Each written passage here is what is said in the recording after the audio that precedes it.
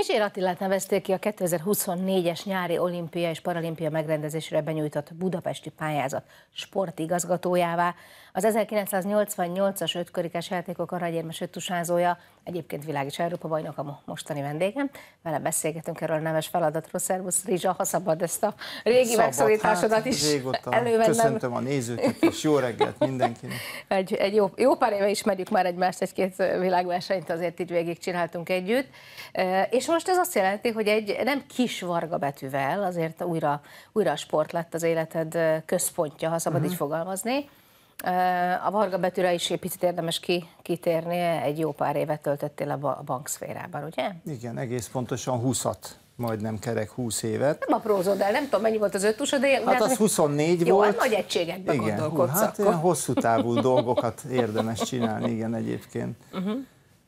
Igen, az az érdekes, meg az a szép ebben a mostani feladatomban, hogy itt még az is megtérül. A bankszektorban én értékesítőként dolgoztam, tehát megtanultam, hogy hogyan lehet az embereket megérteni, közeljutni az igényeikhez, és most itt sportigazgatóként nekem éppen ez lesz a feladatom, hogy a haza és a nemzetközi szövetségek mindenfajta igényét, észrevételét beépítsem, vagy segítsek beépülni a, a pályázati anyagba. Uh-huh hogy aztán... Bár azt gondolnám, hogy az értékesítés az, azért arról is szól, hogy valamit el is kell tudni adni. Persze, persze, de az én adni. szerepem, igen, az én szerepem elsősorban az, hogy megérteni minden sportági uh-huh. igényt, ami elsősorban hogy a versenyzőkből Le. indul ki, a versenyzőről szól az olimpia, és hogy azok, azok meglegyenek. Az más kérdés, hogy persze majd a, az a csapat, aki dolgozik már most is egyébként ezen a pályázati anyagon, annak nyilvánvalóan nagy kihívás és nagy feladata lesz, hogy valami olyan unikumot építsen föl ebbe a pályázatba, vagy építsen hozzá a meglévő kőkemény alapok, létesítmények,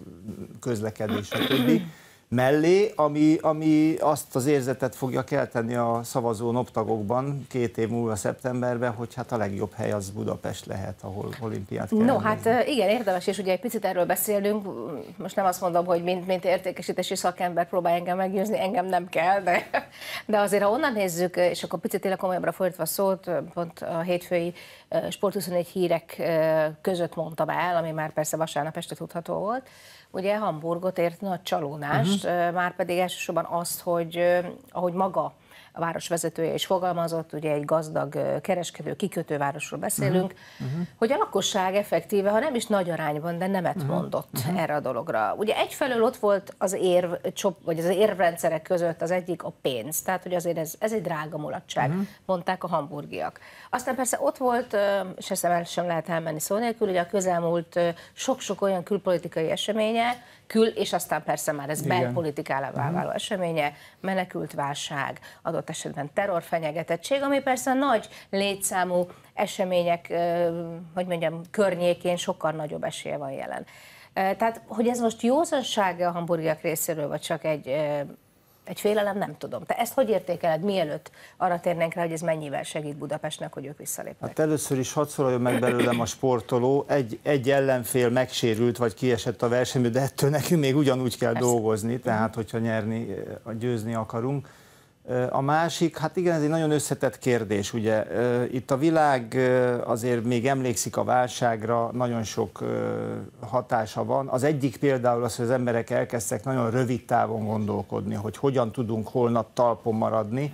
Ugye az egész világ ezt gyakorolt az elmúlt 5-6-7 évben és egy olimpia az meg éppen, hogy nem arról szól, hogy rövid távú gondolkodás, hanem már egy olimpiára pályázni önmagában ez a közel két év, ami hátra van a limai kongresszusig, az, az sem rövid idő. Hát még aki majd megnyeri a pályázatot, reményeink szerint mi leszünk, az egy újabb 7 éves, nagyon hosszú, és arról nem beszélve, hogy az olimpiának az utóhatása és a pozitív, pozitív hagyatéka, az meg aztán évtizedekre szóló történet, és nyilvánvaló, hogy itt a hamburgi eset is azt mutatja, és én itt ezt emelem ki, hogy az emberek sajnos rövid távon könnyebben gondolkodnak, mert hát holnap is talpon kell lenni. Tehát én nem azt mondom, hogy ezzel baj van, de hogyha egy olimpiában gondolkodunk, akkor kénytelenek vagyunk perspektívát váltani és hosszú távú szemlélődéssel közelíteni, mert akkor vitathatatlan óriási értéke van egy olimpia rendezésnek. Akkor elképzelhető egyébként, hogy most például a, a, a hamburgi ö, lakosokat tulajdonképpen legfőképpen inkább a közelmúlt történései befolyásolták, gondolom, mint sem mondjuk például az anyagiaknak a, a, a jelentős volt? Én azt gondolom, hogy ennek nagy súlya van, hát nyilván most ehhez kellene egy, Persze, egy nem tudjuk. Nincs egy olyan, papír, egy olyan ügynökség, aki persze. most csinálna egy, nem tudom, egy reprezentatív mintával egy felmérést, és akkor kifogatna az embereket egyenként. Tehát ezt én csak itt most innen tippelem, de az uh-huh. biztos, hogy ennek a gazdasági válságnak egy ilyen hatása volt az emberek gondolkodására. És igen, a sportvilágban is botrányok voltak a közelmúltban, gondoljunk csak a legnagyobbra talán a FIFA körüli, és aztán lehetne még sorolni, tehát nem orosz, csak ott orosz van. dopping ügyek, és úgy van, sorolhatnánk. úgy van. Ö, és hát ezek nyilván az embereknek a szájízét megkeserítik egy picit. Én nagyon sajnálom egyébként, hogy, hogy így 5-ről 4-re csökkent a pályázó ö, városoknak a száma, mert a verseny akkor jó, és Na jó, akkor hát születik a legjobb eredmény.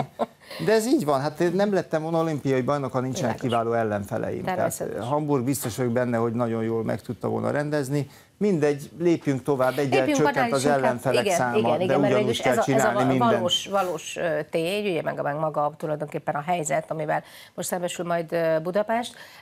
És hogyha most így, persze nagyon sokat fogunk beszélni arról, hogy közeledünk ehhez a dátumhoz, hogy ki hogy áll, de jelen pillanatban ugye három másik nagyváros közül például ugye ott van gyakorlatilag Los Angeles több olimpiával, több nyári olimpiával a háta mögött.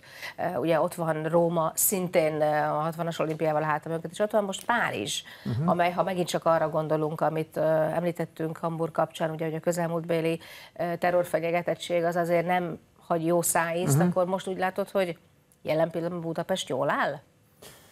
Nem tudom megítélni, és azt gondolom, hogy ezen a ponton nem is kell ezt megítélnünk. Fél év múlva nagyon világos lesz a kép, azt gondolom, addigra már, addigra már mi is sokkal aktívabbak, láthatóbbak akarom, mi, leszünk, mi mint lesz fél év eddig. múlva, tehát jobban? Tehát addigra sokkal láthatóbb lesz a budapesti pályázat, mint ahogy most még valószínűleg itt az ország számára sem, de hát van egy kommunikációs csapat, azok gondolkodni fognak, összerakják a stratégiát, vagy ez már folyamatban van, és, és egy fél év múlva egész más lesz a kép.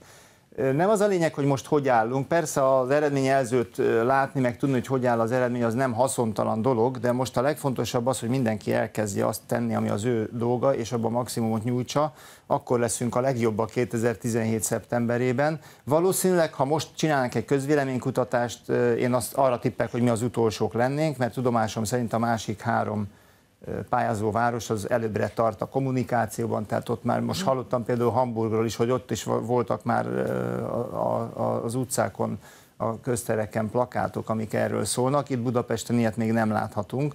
Tehát azt gondolom, hogy ha most az eredményjelzőre ránéznénk, feltehetően az utolsó helyen lennénk, de ez engem egyáltalán nem uh-huh. zavar meg szerintem senkit így a közvetlen környezetemben. Világos, viszont akkor azért ez megint csak nagyon fontos, ugye mert pont ugye Hamburgot emeltet ki, ahol egyébként lehet, hogy előrébb tartottak, és mégis ez született, hogy annó azért, amikor ugye a döntés megszületett arról, hogy igen, igen, akkor, akkor ugye magán a MOP közgyűlésén határozott erről ugye a Magyar Olimpiai Bizottság, uh-huh. és aztán került az ügy ugye Budapest elé, akkor azért Bolkai Zsolt hangsúlyosan elmondta, hogy azért a lakosság hogy úgy mondjam, a nép felhatalmazását ő is legalább ennyire fontosnak tartja. Tehát ilyen formában még, még meg leszünk méretve szerinted hazai viszonylatok Abszolút, között? sőt ez talán a legfontosabb. Tehát az, az nyilvánvaló számomra most már így ismerve az embereket, akikkel mi ez az, az a szűkebb néhány tucatnyi ember, aki, aki ezen nagyon sokat fog dolgozni, hogy ott ebben nincs hiba, de nyerni ez a kis csapat nem tud. Nyerni az ország tud, uh-huh. És abban abszolút egyetértek az elnök úrral, Zsoltal, hogy, hogy ez anélkül nem fog sikerülni, hogy a világ ne azt látná az országról, mondjuk fél év múlva, meg egy év múlva, meg másfél év múlva, amikor már aztán tényleg a hajrában vagyunk, hogy itt az egész ország egy sportfanatikus, őrült módjára akarja és üzenni a világnak, hogy adjátok ide nekünk az olimpiát. Tehát ez egy nagyon fontos. De ennek egyébként lesz majd valamifajta legitim megmérése is? Tehát úgy gondolod, hogy kell ehhez egy... Ezt maga, tudomásom szerint maga a NOB is fog ilyen felméréseket végezni, vagy végeztetni. Nyilván nem a NOB emberei jönnek Világos. és interjúvolnak, de, de nyilvánvaló, hogy ezt minden, minden pályázó városnak az országai meg fogja, meg mások is szerintem meg fogják tenni, hogy végeznek majd ilyen belföldi, meg nemzetközi felméréseket, szerintem ez végig fogja kísérni ezt a közel két évet, úgyhogy ebben nem lesz hiány, erről mhm. lesz információnk rendszeresen, azt gondolom. Na jó van, hát akkor úgy tűnik, hogy feladat van bőven, ami mégiscsak úgy néz ki, hogy egy, egy két éves őrületes munka, ami persze még az is előfordulhat, ne adja Isten, ki kell dobni az ablakon, de hát ez maga másképp nem megy, ugye? Tehát uh-huh. ez egy ilyen Ö, műfaj. Itt, itt hadd had, hadáljak meg ennél, hogy ki kell dobni az ablakon. Itt nincs hogy ki kell dobni az ablakon. Tehát azt majd fogják az emberek, ahogy erről, és ez nem az én tisztem, de röviden egy-két gondolatot hadd mondjak el. Budapest város már jóvá hagyott sokkal korábban, mint hogy pályáztunk az olimpiára, olyan hosszú távú fejlesztési programokat, hogy itt fejlődés lesz, ez, ez szinte biztos, és ezt a budapesti közgyűlés fogadta el. Tehát az, hogyha úgy, úgy nézzük, hogy van valami, van egy adott fejlődési ritmusa a Budapestnek és az országnak, és ahhoz egy óriási hozzáadott érték már önmagában az, hogy pályázunk, mert ez megint meg fog mozgatni egy csomó ember, csomó új gondolat, ötletek fognak integrálódni ebbe a dologba, ami önmagában már erősíteni fogja ezeket a fejlődési tendenciákat. Tehát ezt már most igyekszem hangsúlyozni, hogy erre ne úgy tekintsünk, hogy kidobott pénz az, amit beleöltünk a pályázati folyamatba, valóban a legnagyobb megtérülése az lenne, annak ha. lenne, ha meg is tudnánk rendezni a 24-es olimpiát és paralimpiát, tehát hogy az a 6 hetes sportfesztivál az itt lenne, de már önmagában a pályázat is nagyon sok pozitív hozadékot fog jelenteni a városnak és az országnak is. Na hát úgy látom, hogy, hogy nagyon nagy rendülettel és erővel és lelkesedésre vágtál bele ebbe a munkába, úgyhogy egészen biztos, hogy a folyamat előrehaladásával még sok-sokat fogunk beszélgetni a részletekről, meg Úgy egyáltalán, hogy hogy alakul ez a dolog, úgyhogy sok sikert ez a munkához a szó valóban igazi sport értelmében. Köszönjük Köszönöm. szépen. Köszönjük.